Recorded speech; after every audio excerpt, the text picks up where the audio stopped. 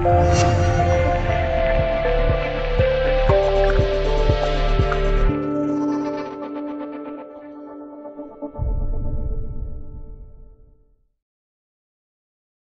国干了几件大事，特朗普安静了许多。美国自身出了大问题，或者说面临危机，最大的焦虑，按照美国人自己的说法，就是美国世界第一的宝座受到了威胁。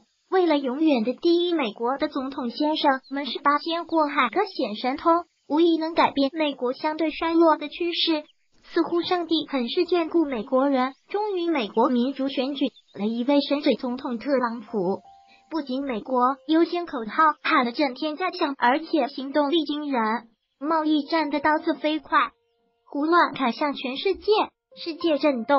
果然，美帝捣乱世界的能力第一，有的国家倒下了，这与美帝因为屈身以待，赶紧送钱保命，给特朗普轻易能赢送证据。有的国家，特别是美国的所谓盟友，期待豁免。更有甚者，做着与美国一起掠夺世界、分一杯羹的美梦，时刻想着在中国背后开黑枪。黑云压城城欲摧，爱好和平、期望发展的国家都在看中国怎么办，美国也在看中国怎么办。在世界关注的眼光下，中国除了在贸易战上坚定捍卫国家利益和国际贸易体制展现与美帝死磕到底的决心之外，干了几件事，的确让特朗普们思量起来。中俄军演，俄罗斯要举行规模最大的军事演习。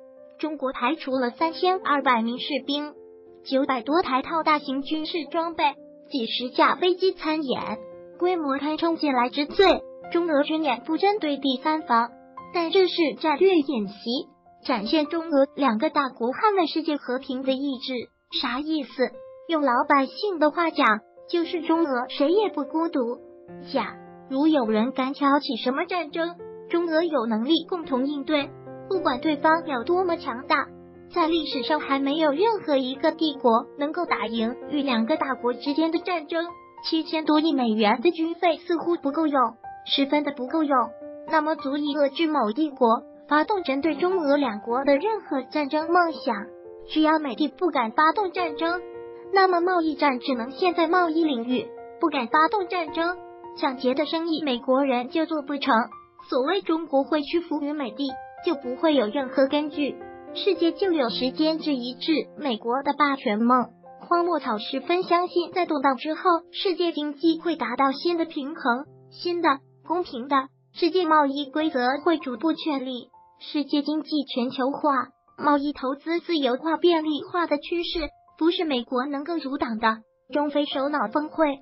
四十位非洲国家总统、十几位副总统、总理与会的中非合作峰会在中国成功召开闭会，合作共赢、和平发展的一带一路大战略、人类命运共同体的美好理念成为共识。